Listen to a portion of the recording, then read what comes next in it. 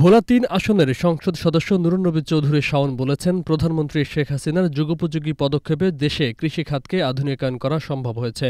তিনি বলেন, বর্তমান সরকারের আমলে কৃষকদের অধিকার নিশ্চিত করা হয়েছে। তাই দেশ কেবল খাদ্য উৎপাদনে স্বয়ংসম্পূর্ণই নয়, বাংলাদেশ এখন খাদ্য উদ্বৃত্তের দেশ।